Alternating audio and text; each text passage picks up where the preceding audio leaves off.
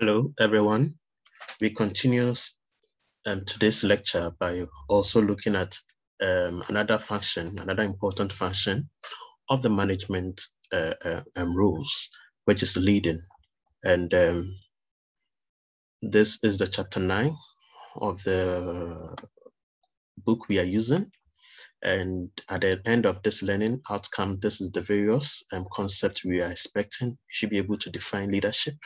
You should be able to distinguish um, leadership and management, and describe components of leadership, theories of leadership, and contemporary issues, and also motivation and communication. The outline of this presentation will take this form. So we will start with the first concept, which is leadership. So in a hypothetical scenario where we have talked about the fact that um, you are having a visions and the missions and how to attain the visions and the mission, that is the uh, planning and how to get uh, combine these resources and control, which we are going to talk about later. Now, in having all these um, functional rules, how do you therefore influence and guide and direct employees to achieve this? That ability to influence is basically what we are discussing today or what we are discussing now that is leadership. So in terms of leadership as we are saying it is the process of influencing employees to work willingly towards the achievement of organizational objective. Now one important thing about this definition is that we are looking for two important aspects two important aspects. That is the ability to influence. And when talk of the ability to influence, when one is able to exert some form of uh, um, power over another, you are able to influence a person's behavior. So that is one important uh, when you are defining the concept of leadership. So the process of influencing employers to work and not just about influencing. Another thing that we also look out for is in, the, in that interdependent relationship between the leader and his followers, the interdependent relationship between the leaders and the followers. So you should be able to influence, that is what we are saying. And there should be also some form of interdependency because you both need each other to survive. Without uh, followers, there is no leader. And without a leader, followers cannot be able to get to the destination as or, or, somebody to guide them as to where to get there.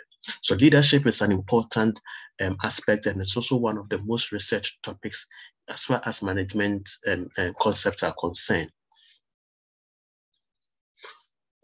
We are now going to look at the concept between leadership and management. Now, it is not all managers that are leaders you can be, can be a manager without being a leader, and we can be a leader without being a manager. However, for organization to grow, then there should be some form of integration. There should be some form of um, a direction where managers and can um, we were able to find people who are both managers and also have the same trait of leadership skills. Because as we said, it is not just about the process of um, being in position, but if you're in position, there should be some form of our ability to influence others' behavior. And when we are able to connect these two, we are the aim of having um, good managers who are also good leaders, if we're able to integrate these two concepts, then it means that the company or your business is in this uh, modern time is made to flourish. So influences influencing people's behavior is an, an important thing because if you want to influence people's behavior, then the, the, the relationship between the leader and the follower should be on a good term. And it's not just being about a manager. You should be able to have that ability to influence people. And one thing that distinguishes managers from leadership is that when you talk of in terms of management as a concept, management is a broader concept, like what we are discussing um, in the general function. The general functions of management comprises of both the planning, the organizing, controlling, and leadership. So leadership is just one aspect of um, management. When we talk of management and we talk of the concept of managers, who are people who are put in position or holding, some people will have the position, but in terms of whether people listen, people are able to adhere to their directions, that is what we are saying, that that manager should have the ability to influence. That influential role is what this concept is discussing, the concept of leadership. In integrating managers and leadership, as we are saying that our aim is to have um, good managers who are also good leaders, then we should be able to understand components of leadership. What are these components of leadership? The component of leadership is that managers will have the right to use authority, will have power, will have certain responsibility, will be able to delegate, and will be able to account to influence employees to achieve organizational goals. So as a manager, once you are able to possess this component of leadership, that it means that then it's a good thing for an organization to progress. Now, let's take these components and these few components and see how can briefly. We are later going to take them individually and going to talk about them. So what is authority? Authority basically denotes the right of a leader to give commands and demand actions from subordinates. So here we are talking about the right that is basically given to uh, um, uh, um, um, a leader. So it is basically a lawful, it is backed by law. So in terms of if you are a, a, a, a CEO, there are certain rights that we are demanding from you and that you'll be able to give certain um, directions. You can be able to give certain uh, um, uh, directions or certain demand that you subordinate A, subordinate B, you do this, you do that. You can he has the right to maybe transfer one person from one department to the other. That ability, that right given to a leader is what we are calling authority. We should be able to distinguish it from power. Now, power is the manager's ability to influence the behavior of others. So power is not just about um, uh, um, the right, but that one here we are talking about the ability your ability to influence employees' behavior. You may not necessarily have um, be in um, uh, um, have authority, but even sometimes you realize that sometimes in your own friends that you work with, someone has the power to just initiate something and people just adhere to. So they have that power to influence your behavior. When your friend says that, hey, let's go to the mall, you may not have the willingness to go, but because your friend and that friend has that kind of influential ability on you, you realize that you tend to follow that person. That ability is what we are terming as power. Now we can also talk about responsibility. And responsibility is the obligation to achieve organizational goals by performing required activity. So every position has um, certain responsible um, responsibility. So if you are in a particular department, you're in the marketing department, what are the responsibility in there? We expect you to be able to go and do research. We expect you to see how you can influence the market or how things are. Those are your responsibility, your obligations that are assigned to you in the business. We can also talk about delegation Delegation is the process of assigning responsibility and authority for achieving organizational goals. So when you talk of delegation, here we are referring to giving employees new tasks. So employee that is already there, maybe you relinquish some of your power. You give them a new task to undertake certain uh, uh, new uh, um, job so that once such um, um, power has been released to a subordinate to do a new perform a new job, that is what we are describing as a, a delegation. Responsibility is the person knows he has to do A, B, C, D. So now when a manager tends to uh, uh, uh relinquish a certain new directive to the um, uh, employee to undertake, then it means that he is delegating some of his responsibility to this uh, um, individual. We can also talk about an um, accountability. And one component, this is an important component of leadership, that whatever that we do, we should be able to evaluate our um, responsibility. So evaluating how well individuals meet their responsibility. So if you evaluate, you give accountable of your action, you give accountability of your actions, then it tells us that whether you are in the right track or you are not in the right track. So accountability is an important component we cannot ignore. So we continue our discussion. Now we look at authority. So we've already discussed what authority is, and we are saying that the rights um, to perform or to influence certain actions. Now, without authority, we realize that most of the processes will be hot because people do not want to respect or would not want to do what they are supposed to. So managers are being given authority in order to be able to influence or demand certain actions, things to be done. Hey, you uh, uh, this, do this. And once you do give that person that uh, action, that means that the right to demand the person to undertake certain actions, that is what we are terming as authority. So you are able to uh, and perform certain actions. You have the right to perform certain actions, to decide who does what, to demand the completion of tasks, to decide who failed to do what, and organization expects of them. So the right to demand action from employees and the right to act. This is what we are saying that basically is about authority. Now, final authority rests in the owners or the shareholders. So, sorry, in a business, um, the main authority basically lies in the owner or the shareholders of the business. And however, they can be able to transfer these authorities or delegate it to um, top managers. Top managers will also delegate it to middle managers. Middle managers will also delegate it to the other um, levels of managers. So it gets to the lowest level for the uh, um, authority to be executed or for them to employees to enable execution of their taxes for companies to realize its goal. So that is important thing or uh, what we are talking about on authority. Another component of the leading function, which is power, we've already talked about what power is, the manager's ability to influence the behavior of employees. And however, one important thing is that power goes hand in hand with leading. With that power, you will not be able to influence people to do what they are supposed to do. So power is an important thing. And when we talk of power, we can have two types of power. We can have what we call the position power and the personal power. So the position power basically is the power that is associated with the positions an individual is holding. For example, top managers the power that is given to top management which they can also delegate to. These are what we call position power. So the particular position has its own power. And we have the personal power. The personal power, basically, it is installed on the person by the followers. So maybe the followers see a reverence in terms of, or oh, this person has the skills, has the knowledge, or um, has this uh, uh, um, ability um, is able to influence them in a positive manner or is able to influence them to attain certain level. So when the followers bestow it on other on them, we call this a personal power.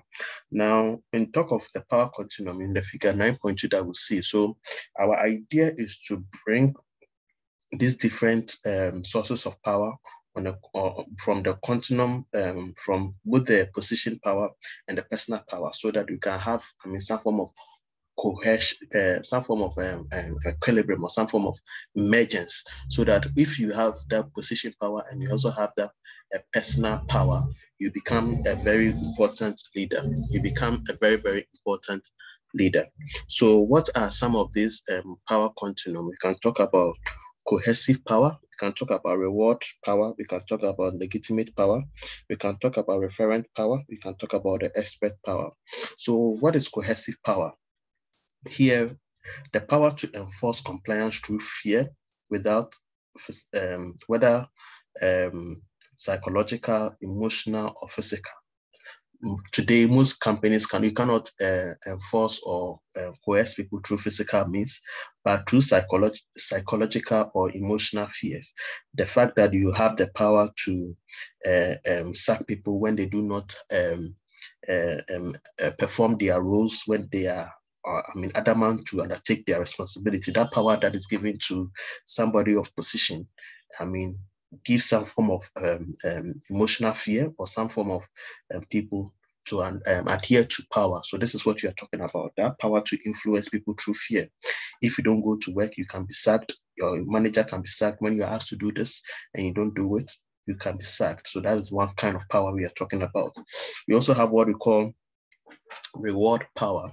So here, basically, we are saying that uh, uh, um, per what you are given, uh, we, we, we, if you give, uh, um, if you're undertaking certain responsibilities, you are going to be uh, given certain rewards in the form of either salary raises, bonuses, uh, praises, award, or best employee. These are reward and power. So here, the ability to influence employees with a certain something of value to them.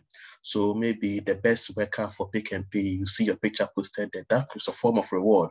It motivates you to, uh, it's a form of power that influences people to attain their um, uh, uh, roles. You can also talk about the legitimate power. So legitimate power basically is the power of an organization grant to a position. So if you are um, a finance manager, that power that is given to you or given to you by the organization is what we are referring to as the legitimate power. It's a power that organization grants to a position. We can also talk about a referent power. So here, when uh, managers have that personal power or charisma, the personal power of charisma, when you have that ability, you realize that employees obey you at any time uh, because they tend to have you give you that respect they identify with you, associate with you, you're able to influence their behavior. That is what we are calling as their uh, um, uh, um, referent power. Leader's personal characteristics makes him or her attractive to others. Your personal characteristics is what is attracting others to you. They are able to respect you. They are able to follow you. They even influences people to, if you have that charismatic uh, ability, you are able, your, you, people tend to even influence you or tend to do more even when you are not there because they are believe or associate themselves with your principles and they are inspired to do more. We can also talk about expect power. So here, basically the power that managers will have or somebody will have because of their knowledge or their expertise in a particular field. So if you have that information, if you have a certain information or you have knowledge in a particular field, you have a power. So whenever there is a need for maybe budget assessments, we need the economists to understand, help us understand. We need the finance gurus to help us understand. That ability, that power is what we are calling as the expect power the expert power. An important um, note that you guys should notice that it is not power does not only rely in the manager, but the employees also have some power in in in the business, and um, or the subordinates also have, may have certain power in the business. And one important thing is that with this four um, continuum, the coercive, the reward that we discussed, and um, the legitimate power, referent power, if a manager puts um, has all these characteristics, that manager becomes a strong leader. And with being a strong leader too doesn't mean that um, you should ignore the power that the employees may have because sometimes the employees too may have certain information that may be vital to the company's business. And how your charismatic leadership or how your charismatic power, if you're unable to relate well with the employees to find a balance between um, the managers and the employees, you realize that there are certain things that the employees too may be withheld. If employees are given that kind of also to exhibit their level of power in terms of the business, their skills or the information that is previewed to them, they exert or they are able to influence, they're able to, they are motivated to work well without the manager or without even being told to do what is to be done. So even sometimes the employee may have, I mean, a, a, whole lot of network. Their social network may be what may even be the source of information for oh, how maybe in terms of research, how people are thinking about the business, or maybe an employee has a, a large followers, which maybe may be a source of market base for the business. So it is important for us to establish balance between the power of managers and that of employees. This is a very, very important concept. We continue our discussion by trying to understand some theories that have been uh, uh, put down under leadership. Then this theory, we are going to talk about the traditional theories. We are going to talk about a modern form of theories, a new type of theories that we are um, going to look at. Under the traditional theories, we have basically three main types, the traits theory, the behavioral theory, and the contingency theory. Now, what are the, the perspective or what is what is being said under the trait theory.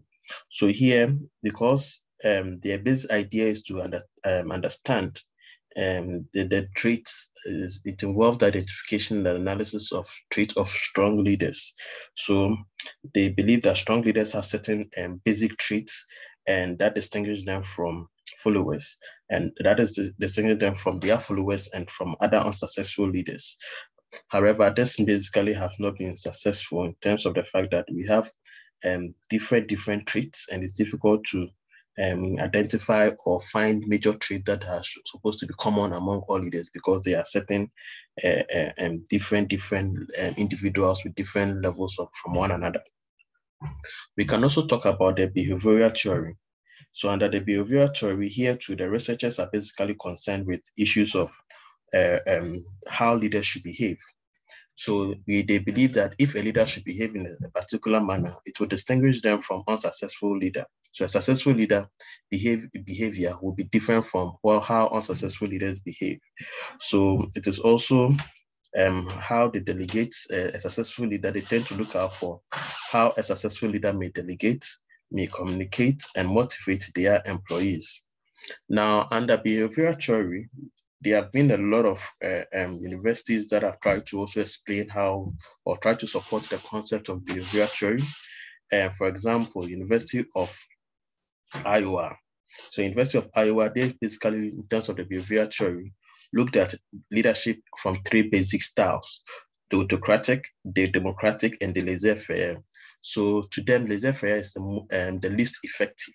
Is the least effective. That is where leader gives all the um, um, the power to the the employees to do and do not follow up. So they give all the decision making to the employees and they don't follow up. And they believe that this is an ineffective way.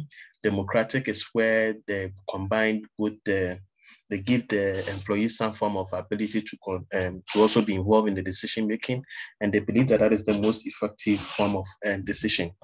If you look at the Ohio University State, they basically distinguish two types of leadership, and their leadership they look at it in terms of the initiating structure and the consideration structure.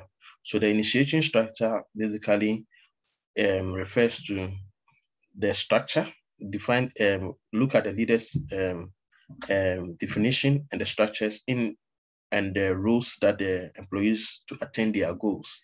So the initiating structure basically look at the uh, who, how to define leadership and the structures and their rules and the rules of the employees to attain the goals.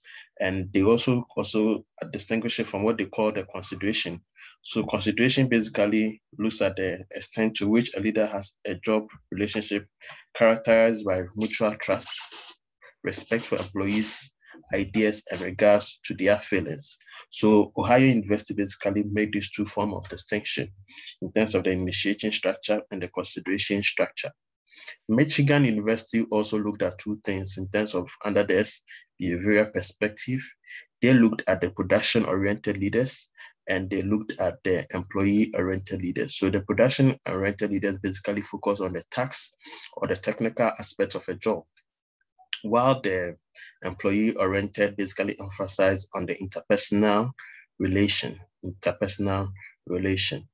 Others such as um, the Blake and Mouton develop a managerial grid. So they develop instruments or questionnaires to assess assess the behavior of in individuals to assess this behavior of individuals. We can continue a discussion by looking at the third um, um, theory under the um, um traditional theories, which we call the contingency, or there's what we call the situational theory. So here, the attempt is to determine the best leadership style for a given situation. So here, they basically try, tends to determine the best leadership style for a given situation. So researchers consider variables such as how structured the task is, the quality of leadership between the leaders and the employees, the leader's position, power and employees' role, clarity and employees' acceptance to the leader's decision. Under this contingency theory, now they basically trying to focus on the best type of leadership. Uh, um, there have been a lot of um, uh, um, leading writers to under these theories and they, how they tend to um, assess or tends to how research should take. So we have the Fred Fiedler's contingency theory of leadership. So the Fred Linden's um, contingency theory of leadership basically, they proposes the effective group performance depends on proper matching between a leadership leader style of interaction with employees and the degree to which situation gives control and influence to leader. So basically, they, what they did is um, this research does is that they develop an instrument to measure whether the leader is task oriented or relationship um, oriented. So they try to use questionnaires to measure how effective or the performance of the interaction between the leaders. So the leaders' tasks, they measure the leaders' tasks and the relationship. And the relationship here is the relationship between the leaders and the employees. And they believe that uh, uh, individual uh, um, star, leadership star is fixed. So once you're able to assess it, you'll be able to uh, require the task-oriented leader and the leader's uh, relationship um, uh, status. And that is basically what Fred Fiedler's contingency theory tends to look at. Other forms of um, assessing this contingency theory, also you can look at it in terms of the Robert House, Robert House, who developed the, what we call the path goal model the path goal model. And another path goal model basically um, they are leaders' responsibility to help employees to achieve um, their goals. So they see that it is the leader who has to give the pathway. It is the leader who has to identify. You move to this. If you want to do attain, get to um, a particular destination, the leader gives you a path for the employees to follow, and um, they um, this uh, um, theory by Robert House, they basically try to talk about four leadership behaviors. And these four leadership behaviors in terms of the directive, the supportive, the participative, and the achievement-oriented behavior. The achievement-oriented behavior. We can also talk about Paul Hersey and Ken Blanchard. They propose what you call the situational leadership model. So the situational leadership model and here, when you talk of this, it is premise on the on the um, it is premise on the fact that work maturity of employees determines the best leadership style of a particular situation. So to them, under the situational leadership model is that we should look at the work maturity of the employees. So if your employees can work individually, they can be able to, they need less influence on, and they need less uh, um, motivation to be influenced to attain their business, that work maturity is what determines the, the leadership, the, the, the, the best style of leadership. So they also use for um, leadership style, that is telling, the selling, the participation, and delegating to match employees' maturity in a given situation to determine the best leadership style. Moving beyond the traditional theories is now for us to also look at the contemporary approach to leadership. And in the contemporary approach to leadership, one important thing that um, contemporary leadership tries to look out for is basically trust. Is basically trust. So trust is the key to leadership success, an essential component of successful working relationship. So a leader that is considered trustworthy enables cooperation, encourages information sharing, and increases openness and mutual acceptance. So basically, a leader that is having all this uh, uh um, uh, uh, uh, um, consideration and or trust it seems to understand as an as a, a leader who has more and more trust and has the ability to influence people's behavior. So what this contemporary leadership tends to look out for is that when you consider the trustworthiness of an, a leader, it motivates its followers to or inspires them to achieve what they want to achieve. So it, it, enables them to cooperate. It also gives them information sharing and increased openness and mutual acceptance. We are going to look at the dimensions of trust. I'm just trying to give um, what this contemporary um, um, approach tends to look at. So trust is the extent to which an individual is perceived to be demonstrates ability, benevolence, and integrity. Then we can also talk about two um, elements of trustworthiness and two elements of trustworthiness under the contemporary model. We can talk about the distal trust. That is a situation where trustworthiness of an organization of the senior or strategic leaders. And we can also talk about the proximal trust. That is the trustworthiness of a person, immediate manager. So the contemporary um, approach basically have two elements of trustworthiness: the distilled, distilled, style trust and the proximal trust.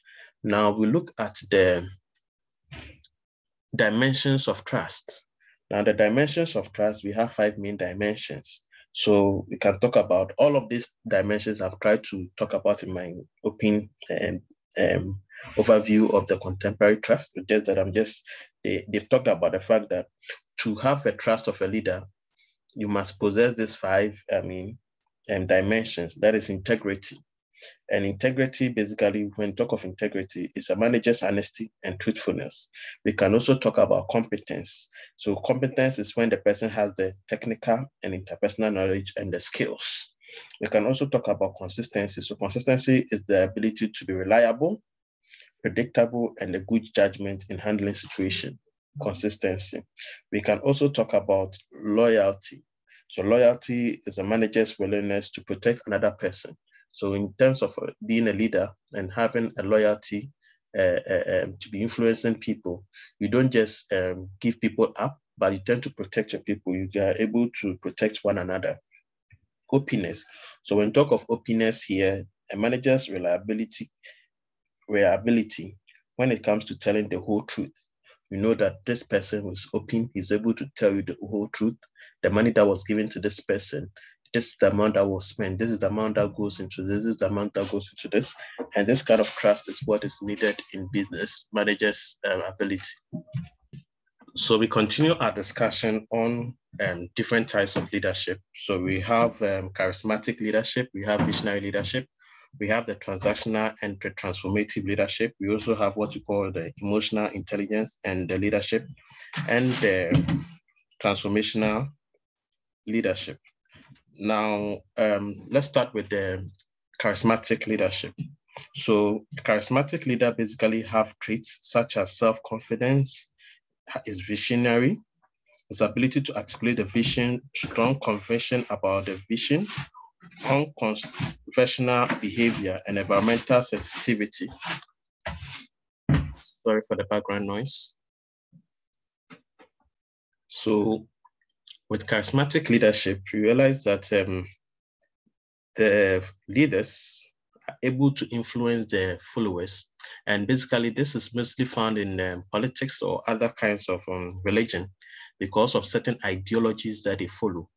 So aside the, um, the characteristics of this charismatic leadership, they have certain ideologies, and that is basically what inspires the followers. We can also talk about the visionary leadership, and visionary leadership goes beyond charisma. So basically, with visionary leaders, what they do is that they can create and articulate a realistic, credible, and attractive vision of the future of an organization. So with um, visionary leadership, we say that they can project a vision.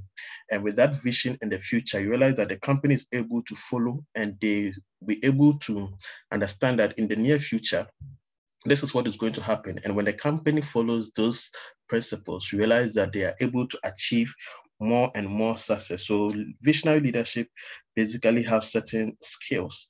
They are able to explain the vision to others. They are also able to express the vision through the, um, their behavior and the ability to extend the vision to different leadership contexts. So this is some characteristics of uh, visionary leadership. We can also talk about um, um, one also thing about um, visionary leadership is that they are also problem um, centric leaders. That is that they are able to um, navigate their way through problems. They are able to solve problems and see problems and um, solve it. Now we can also talk about the third contemporary approach to leadership. That is the third concept. And here we have already mentioned the transactionary and the transformational. So in terms of transactionary leaders, here, they motivate their followers by appealing to their self-interest.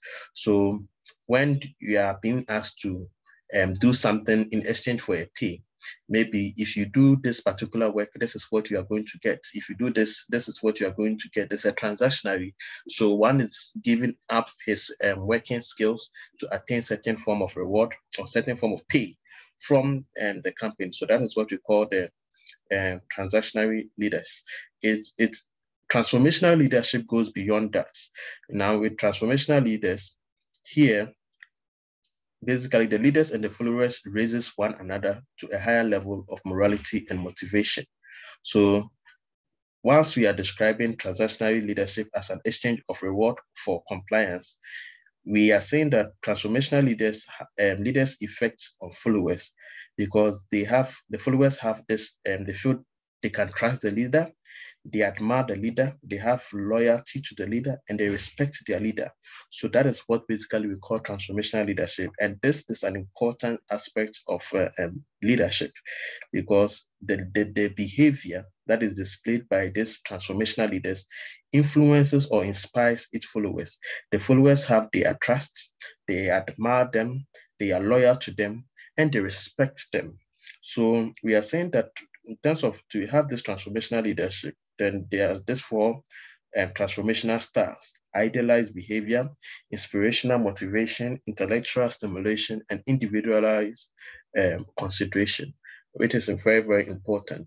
And in terms of modern uh, aspect today, we need transformational leaders, leaders who have this foresight of uh, um, doing things, leaders that are effective in organization major change, uh, um, when there's a major change, they are effective in an organization because they are able to transform. Uh, when transformations are taking place, they are able to see it and be able to adjust companies to tone in line with new development. So companies who do not, who lack um, transformational leaders are unable to compete in terms of the modern day technologies in the industrial um, um, technology, such as the um, using online business, online markets, e-commerce, and things to. I mean, so this is what transformational leaders do. They basically see vision. They are visionary. They promote the vision of the company, and they inspire their uh, um, followers and they are also able to not just inspire their followers they earn their trust they they, they earn their loyalty and they are able to adjust and navigate through problems or the situation of changes in the global environment one important thing we can also talk about is what we call emotional intelligence now emotional intelligence is basically the ability to monitor one's own and other feelings and emotions to discriminate among others and to use this information to guide one's thinking and actions. Others, uh, um, this emotional intelligence was basically defined by Salovey and Mayer, and others such as Daniel Goleman have been able to also distinguish it from what we call the emotional competence. So emotional competence is a learned capability based on emotional intelligence. So it's a learned capability based on emotional intelligence, resulting in outstanding performance of work. So emotional um, um, intelligence that we are talking about basically is about self-awareness, self-management, social awareness, and the relationship management. These are very, very important aspects that we also need to look at. Now we move our discussion to look at the new approaches to leadership. And the new approaches to leadership, basically, we are going to look at the ethical leadership. We are looking at the cross-cultural leadership, the managing diversity, the servant leadership, the peer-to-peer -peer leadership, and the agile leadership. Now, in ethical leadership, here we are saying that effective leadership entails expectations that top managers should maintain high ethical standards for their own conduct, demonstrate ethical behaviors consistently, and hold members of the organization to the same high ethical standards. So this type of leadership is saying that as a leader, or as a manager, or as a top manager, or as an employee, you should uphold high standards, high ethical principles, so that every person in the organization will also hold or try to maintain the same ethical standards in the organization. There wouldn't be any undercutting, and you go by the principles. You make sure that you are in the, um, the organization or local businesses follow uh, um, the principles, ethical principles that are needed in re-engineering or making sure that new uh, um, uh, uh, uh, emergence in the businesses and also not, I mean, going to um, affect uh, environment, going, going to affect um, the consumer's trust or anything. So once you are able to uphold businesses to this um, ethical principles, it's a good thing for the country, a company. It's a good thing for the company. And leadership in these complex times requires nothing less than a whole shift of mental moves, a step in a collaborative situation with the futures and the, current environment. And that doesn't mean that because you want your company to grow in the near future, doesn't mean that you forego your ethical principles by doing certain shady jobs or certain shady attitude that will undermine the progress of your business. Another aspect of new approaches to leadership, which is also important, is the cross-cultural leadership. Now, with cross-cultural leadership, here we are saying that in a growing environment, in a growing environment, you should be able to consider the interpersonal skills, including culture, verbal and non-verbal skills, and trustworthiness.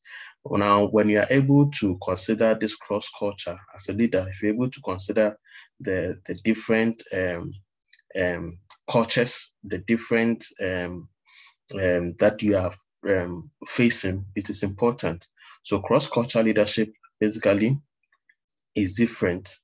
It's a different cultures and a willingness to adjust one's own behavior to accommodate others' values and norms It's basically what we are saying here that you should be able to consider other cultures that they should be able to employ different different environments and now businesses are becoming more complex we are having different different uh, uh, uh, different cultures cultures with from different background different leaders with different skills and all of these are important in terms of the business environment in terms of the business uh, and development.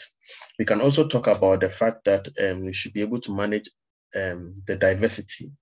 Companies are becoming more complex. Organizations are becoming more complex.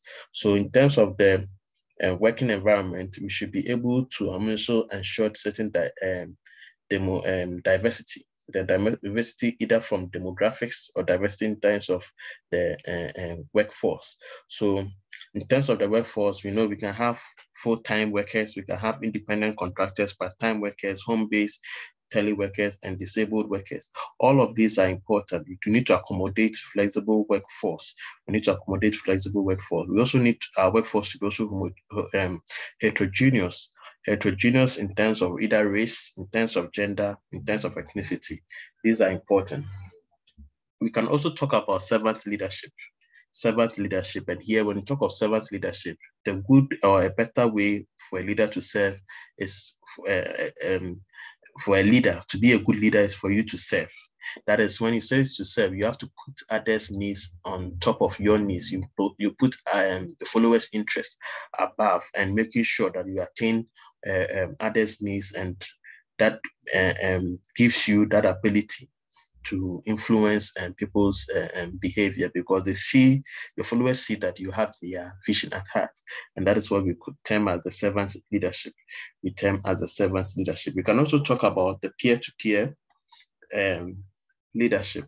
We can also talk about the peer so the peer-to-peer leadership is an effective in organization using an interconnected central network.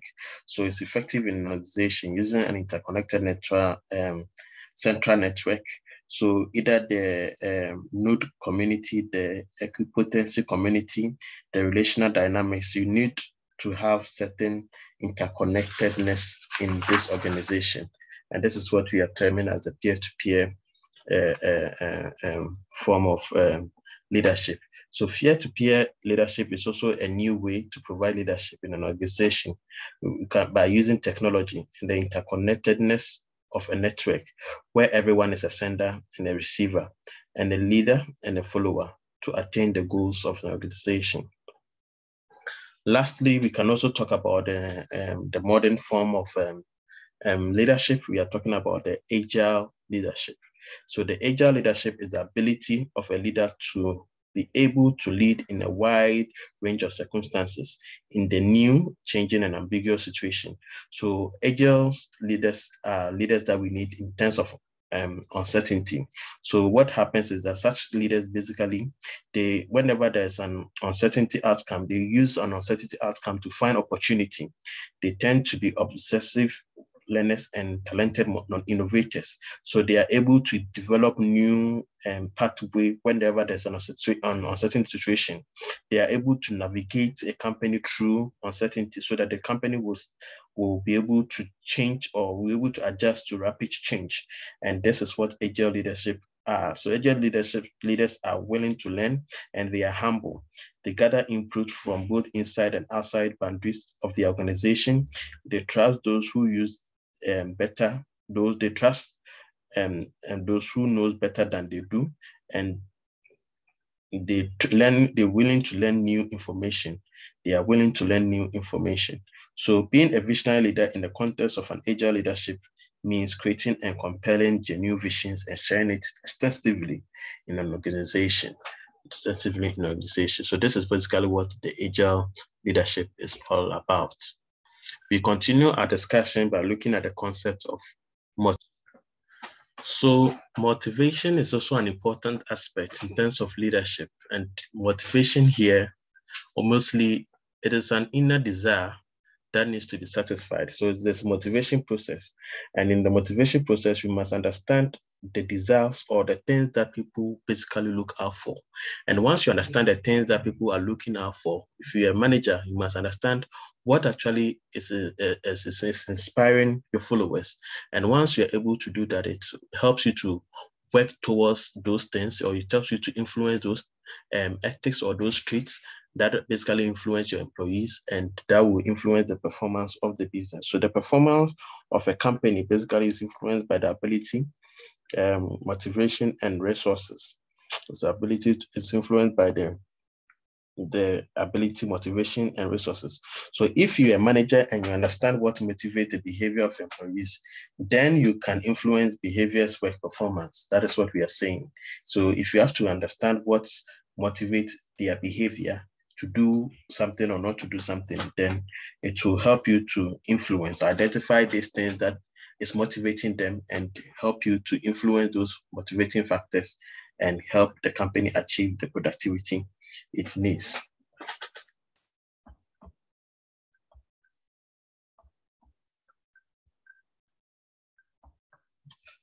So one important aspect too about um, uh, manager's role is that they lead um, either a group or teams.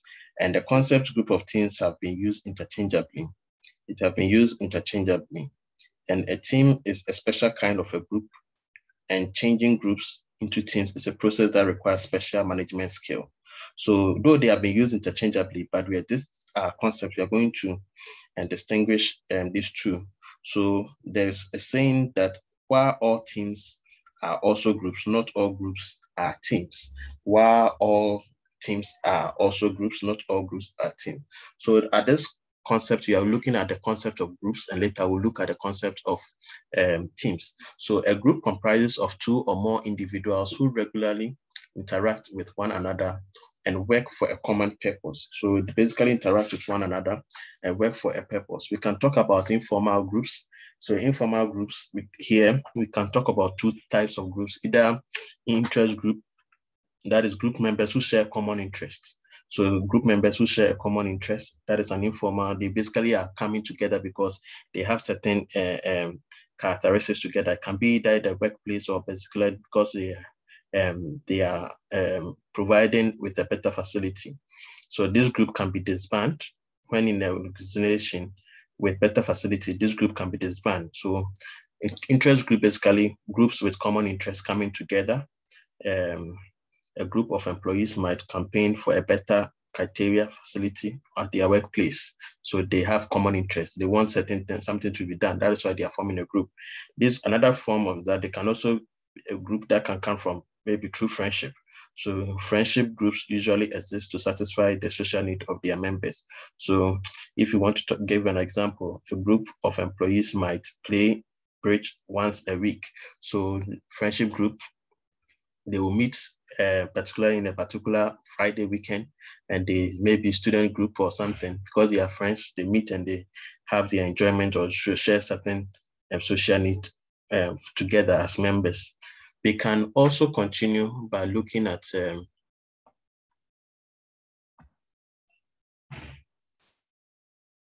formal groups. We can also look at formal groups. So formal groups here, we have the command groups and the task groups. So command groups appear on um, um, organizational charts. The command formal groups are categorized as either command groups or task groups. So command groups appear on the organizational charts, basically indicating the line of authority. So in the command group, in the line of authority from managers to the employees. So from each level, we have certain groups and the organizational structure defines formal groups in terms of allocated works, assignment, and the de determined tasks. So, and the formation of work groups. So this is what a formal groups does. Now, in terms of organizational um, task group, we are here, we are saying that we form this group just to perform a particular task. So maybe you want um, there to be um, something to be done in a company. This task group can come from different uh, uh, um, grouping levels. So can, you can have somebody from a management level, somebody from the finance level, somebody from, and this forms, this group, they are just there to undertake certain development in their particular um, um, particular perform a particular task. When that task is done, you can disband that group or uh, um, um, let that group stay to perform another task in the near future. So that is what we are saying under the formal group. There are certain characteristics we are also going to look at in our next discussion. So the characteristics of groups. The characteristics of group is that every group is different in terms of structure and characteristics. So what are the main uh, characteristics in terms of, we can talk about the group size, with group size to when you have a large group size, it's difficult to undertake certain um, decision making. So you can have the group size. We can also talk about the group composition and the group composition too. We are saying that there should be differences and um, like the component, what is made up of the group should be different in terms of um, heterogeneity, in terms of gender, race, nationality, or in terms of uh, uh, uh, um, um, performance from homogeneous group over time. So a particular group in terms of composition can have different race and um, um, um, nationality or um, um, gender. Gender. We can also talk about group norms. So the group norms here, basically, these are the standards that are shared by the members that develop from interaction between these uh, members. So the norms can be having can be positive or negative, and managers should manage them so an example of a positive norm is that a group strives to outperform other groups. So a group has its own norms. Now, with this common group, they share certain uh, uh, um, um, standards, and their standard is that, oh, as a group, we want to perform better than the other group. So a group of um, assignment A would want to perform than another group, and that is the, the norms, their norm, is that's a positive norm. When that groups do not um, tend to perform better, then it becomes a negative norm. We also have uh, something that binds groups together. That's what we call the group's um, cohesiveness. So there's a strong relationship between um, um, performance norms and cohesiveness of a, um, a, group. So the things that actually pull the group together is what we are calling as the group cohesiveness. The adherence to group norms will be stronger. When that thing is there, it, it, it, it adherence to the group norms will be um, stronger. We can also talk about the status in groups and the status in groups can be either formal or informal, meaning that sometimes groups give um, um, formal or informal status to group members who are relatively on a low of the hierarchical level. So status drives from factors such as age or experience. So that is the status of, of a group in terms of social influence. You can look at it in terms of the age, experience, or the social influence of a group member. And that gives the group a status in, uh, um, uh, in a group, their status in a group. We can also look at um, the formal leadership. And here we are usually concerned about titles such as the section or the department or um, department manager, supervisor, project leader, or committee chair. Sometimes an informal leader has more influence in a group, which may influence the performance of the group positively or negatively. So formal leader, we are saying that the formal leader can be a project leader, committee chair, or may have certain uh, uh, uh, position or maybe the supervisor. An informal leader to may not be uh, having that position or influence, but may be very, very vital in terms of influencing groups. So these are the characteristics of groups we are talking about. We continue our discussion by looking at or understanding the concept of teams. So as we said, a group is a unit of two or more people who interact primarily to share information and make decisions that will help each other or each group member perform within their own level of responsibility. Work teams basically goes beyond. So work teams comprises of a small number of employees with complementary competency who work together on a project.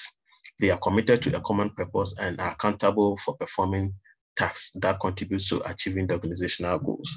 So when saying that work teams, it is not just about um, putting two three people uh, um, to share information.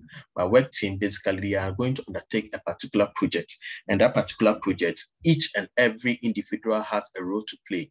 So if the um, then um, the ending performance is not well, then we are saying that then the whole team have perform poorly. So each and everybody has a, a, performing task and they contribute to the organization. So you need this individual to do this, you need this person to do this, to do need to use this person to do this to achieve a project. So let's take, for example, if you want to um, organize um, an award scheme, we need maybe somebody from the finance department to tell us the budget that we need in terms of what we are going to do. We also need um, somebody from um, ad uh, advertisement to tell us how we are going to advertise um, um, to make sure that we get the needed uh, people to attend that um, um, award project. So you need everybody has its role. So if one person decides not to perform, it affects the whole team. And when that uh, uh, uh, situation happens, then the whole team is seen to be having a bad um, light you don't uh, when the, the the group does well it comes for the whole group when one um, when um, when the whole team performs well, it comes from the whole team. When the whole um, team, uh, one person performs poorly, which affects the whole team too, it's still um, hanging on the whole team. So we see the team as an uh, as a as an uh, collective than as an individual entity as a collective than as an individual entity. There are different types of teams. We have the problem solving teams. We also have the self-managed work teams. We have the cross-functional teams. So the self-solving teams basically comprises of employees from the same department. Basically, they meet regular to discuss ways to improve quality, efficiency, and the work environment. So they are problem solving. They basically meet to think and they think about how to improve the quality, the efficiency, and the work environment. For the self-managed work teams, basically they take on responsibility from their former managers, including tasks such as planning, scheduling, and control.